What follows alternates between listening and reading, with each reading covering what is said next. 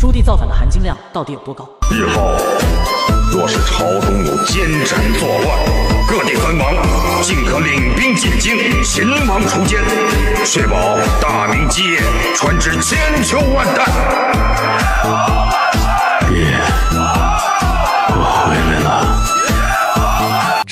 这这是咱定的皇明祖训，藩王领兵进京，秦王除奸，确保大明基业传至千秋万代。对，没错，这就是咱定下来的皇明祖训，绝对错不了。咱是主角，咱也上天幕了。等等，他们怎么都喊燕王万岁？燕王万岁！这个燕王难道是自家老四的那个燕王？老四这个混账，这摆明了燕王朱棣是登基皇位了呀！咱认可的下一任皇帝只有好大儿朱标，那臭老四是怎么上位的？去把老四给咱绑过来！这这怎么可能？我未来竟然挤掉大哥，资格当上了皇帝！快备马，我要回宫！咱竟然上天幕了！父皇，如今咱被先人看中认可了，您老若能看到这一幕，还会怪罪我靖南的过错吗？这若是被皇爷爷看见了，别说原谅你了，他不得扒了你的皮，抽了你的筋，甚至剥皮炫草。我是朱棣。我喜欢世人称我为太宗皇帝，若称我为明成祖，那也是我的业障。我自幼便怀有远大之志，欲振兴大明，光耀四海。最近换了新电脑，剪辑就是快。大家换新后，旧的都怎么处理的？像我每次换下来的旧笔记本、手机、相机都会叫转转免费上门回收，价格满意现场打钱。我那台苹果电脑还卖了四千三百多，躺在家里就把电脑给卖了，特别省心。要我说，趁着旧机还值钱，赶紧叫转转上门回收就对了。朕这一生可谓波澜壮阔，功绩卓著，将朕此生娓娓道来，以享后人。在大明帝国辉煌的龙脉之下，我诞生于元末年间的一个清晨。父亲朱元璋，那位从红巾军中崛起，最终一统江山的英雄，赋予了我皇族的血脉。洪武三年，时值明太祖高皇帝开国之初，天下未定，四方犹有割据，我受封为燕王。自幼聪慧过人，博览群书，深得父皇喜爱。然而，依据儒家原则，即大同者，立嫡立长，任何偏离此规矩之举，都可能引发内乱外患。所以我清楚，天下乃父之天下，而后也是我兄长朱标的天下，而我。注定要成为巩固大明盛世的重要一环。洪武十三年，父亲的旨意如雷霆般降临，赐予我北方边疆的土地，让我镇守北方边陲。我知道这是对我能力的考验，也是对我忠诚的测试。我踏上了前往燕京的路，心中充满了对未知的期待与对权力的渴望。自此开始崭露头角。燕京这片古老的土地，是我封王之地，也是我磨砺意志、积蓄力量的所在。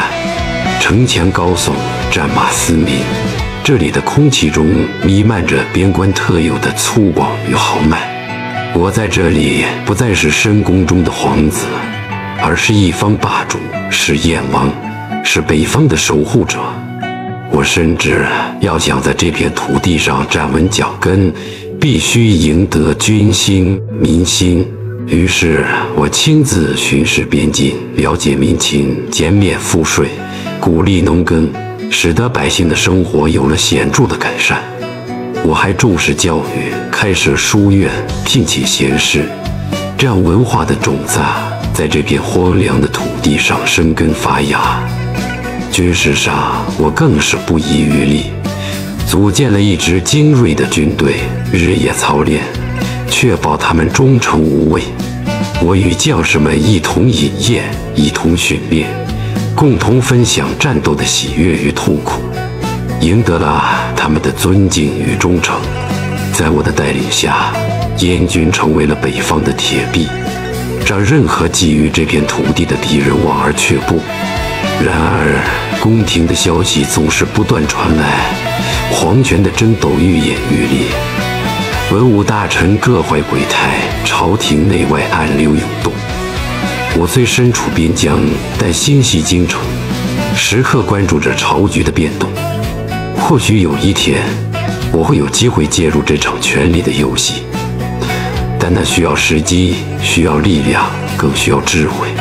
在燕京的日子里，我不仅是一位藩王，更是一位统治者，一位战士。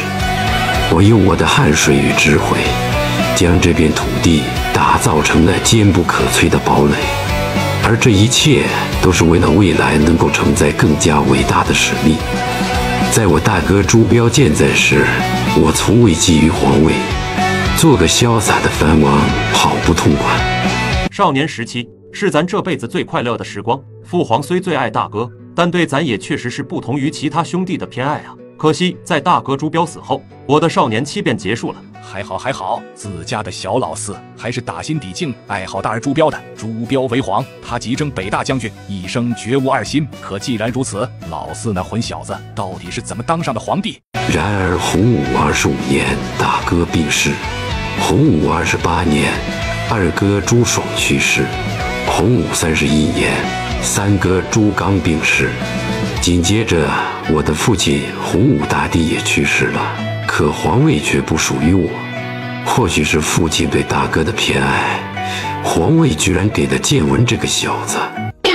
做了二十五年太子的朱标突然去世，咱的彪儿死了。我当了二十五年太子，然后死了。接着二弟和三弟也相继去世。老大、老二、老三，自己生的五个孩子里，其中有仨都会早亡，怎么会这样？建文这个小王八蛋，被皇子成七太，那些坏人煽动，要削藩，把周王全家囚禁在应天，把兵调到顺天，派了几个小官看着我，看我是不是要造反。我在猪圈里吃了几年的猪屎，才把这个天下拿下来。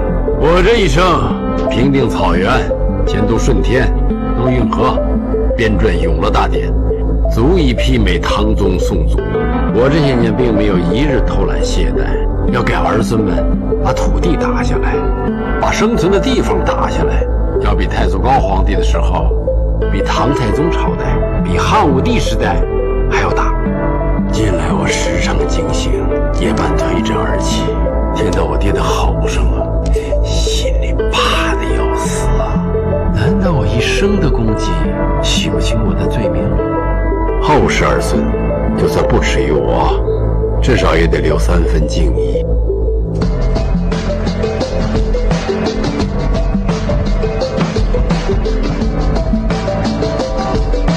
什么？那些可都是他的亲叔叔，他怎敢？他怎么敢的？啧啧，刚上位就想着要削藩，而且一连削了这么多藩王，人才啊！这人绝对当不了好皇帝，这就是个蠢材。这朱允文太急躁了，才刚当上皇帝不久，底蕴都还不够，就想着要削藩收拢皇权，这摆明了心急吃不了热豆腐。哎，这样也好，比起英武的四弟允文，他终究不适合当皇帝。标儿，答应娘，你一定要好好活着，只要你活着，皇位就是你的，后面也就不会发生这些血亲相杀的惨剧了。父皇、母后、大哥、儿儿臣，儿臣回来向你们请罪了。